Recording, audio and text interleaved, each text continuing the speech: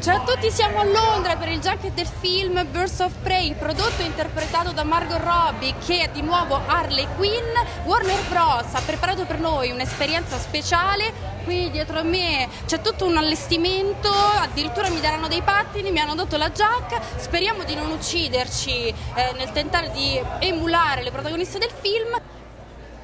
42. I mean, how can you say no to Margot Robbie? She's so amazing. She's super committed.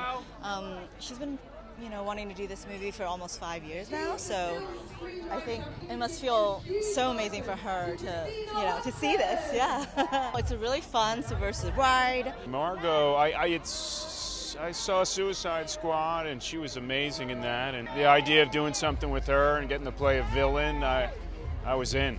You know, he's a psychopath, so it's very freeing to, to be able to play that. There's no uh, there's no right or wrong. You could they just let me go wild. You know, we, we shot it like a, like an independent film. We tried a lot of different things and. Uh, we had a great time making it. Um, just the uh, essence of female empowerment that really drawn me, and that the fact that I could kick some ass.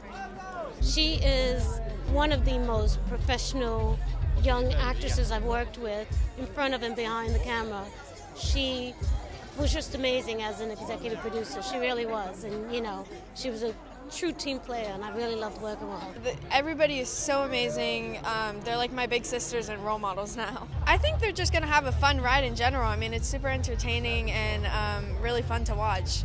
Comic books are just so rich with interesting female characters, and I think it's time we saw more of them on the screen. There's so much to choose from, there's so many. And I think Huntress is, is one of the great ones, so I'm really proud to be portraying her. It's incredible. I mean, we just bonded so effortlessly, I think, because we were all so excited to be part of this film and to be doing something so different, to be bringing this R rated girl gang movie to the big screen, where we get to be violent and messy and dirty and, and badass and all these things that we don't really get to be very often in real life. So we were just so happy and excited to be doing that alongside one another.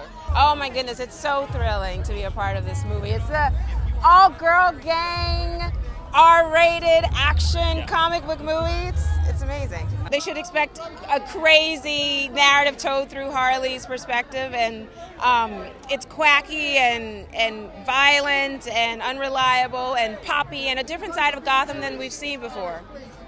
She's she's endlessly fun to play, and I think in this film you're kind of seeing a slightly different side of Harley. She's at a different point in her life, newly single, not happy about it, um, and trying to figure out how to be this, you know, independent woman when she's got half of Gotham trying to kill her.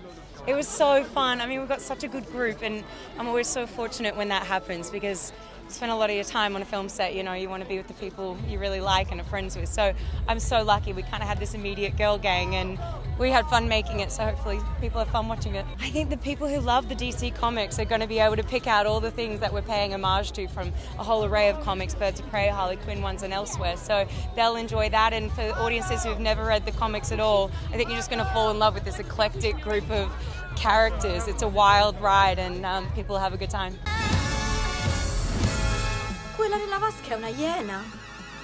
L'ho chiamato Bruce in onore di quel gran fico di Wayne.